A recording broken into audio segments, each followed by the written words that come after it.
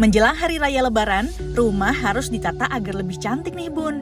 Pasalnya saat hari raya akan banyak kerabat dan saudara yang berkunjung. Salah satu dekorasi rumah yang bisa membuat ruangan menjadi lebih estetik adalah gorden. Jika bunda sedang berencana untuk mendekorasi ulang ruangan di rumah, gaya desain minimalis bisa menjadi pilihan nih bunda. Gaya desain ini sangat populer karena simpel dan tidak terlalu banyak membutuhkan furniture. Gaya minimalis juga cocok untuk ruangan yang kecil bunda. Nah, berikut ini Bubun punya ide rekomendasi model gorden untuk rumah minimalis Bunda.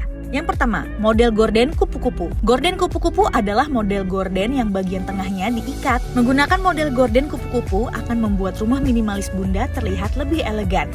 Yang kedua, model gorden minimalis bermotif geometris.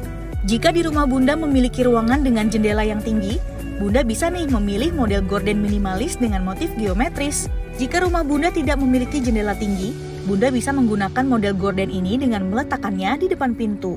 Dengan warna netral seperti krem atau abu-abu muda, model ini cocok untuk ruangan sederhana yang membutuhkan aksen ya. Yang ketiga, model gorden roll up. Model ini cocok diletakkan di ruang keluarga maupun kamar tidur. Model gorden roll up atau yang digulung ke atas juga bisa menjadi alternatif jika ukuran ruangannya kecil.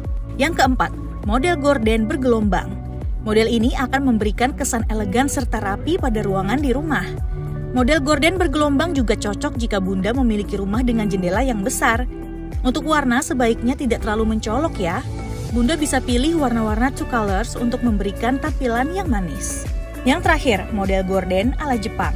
Model gorden ini akan membuat ruangan tampak redup dan hangat sehingga cocok untuk dipasang di kamar tidur, tempat kerabat bunda menginap. Suasana yang rileks dan santai juga bisa tertuang dengan menerapkan konsep gorden ala Jepang ini. Jangan lupa juga untuk selalu memadukan warna dan motif gorden dengan furniture lain yang ada pada ruangan agar tampak serasi dan konseptual.